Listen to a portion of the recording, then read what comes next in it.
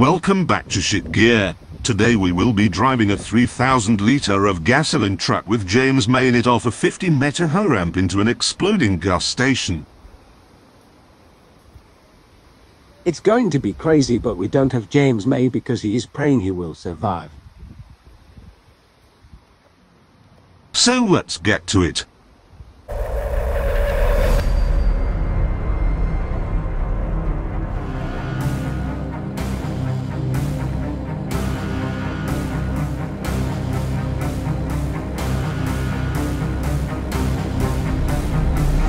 Tricky thing for us is it's completely unrehearsed and we've got one shot. There was one take.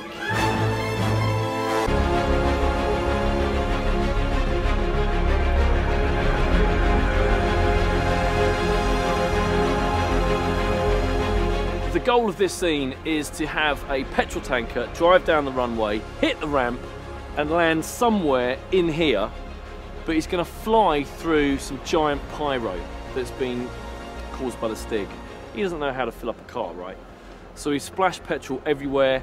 As the vehicle slides into the petrol station, we're going to set off everything. Everything.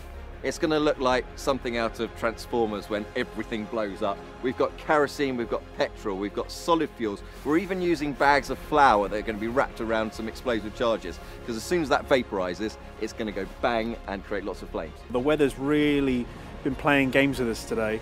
Um, and there's so many elements that are weather dependent, not only just the stunt itself, um, the cameras that are in the air, the drone that's flying around, but also things like this is a very busy scene for pyrotechnics. Um, and obviously, we're looking at the wind direction, where the wind's blowing, and the effect that that's going to have on all our cameras and all our people. We have a 30 minute window to debag all the cameras to protect them from the rain, trigger the explosives, set the car at the end. It's like an impossible situation.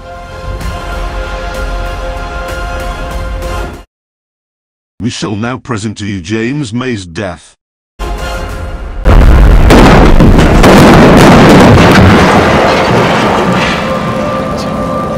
There we go, damn it. The sun can add a little bit but it's dawn.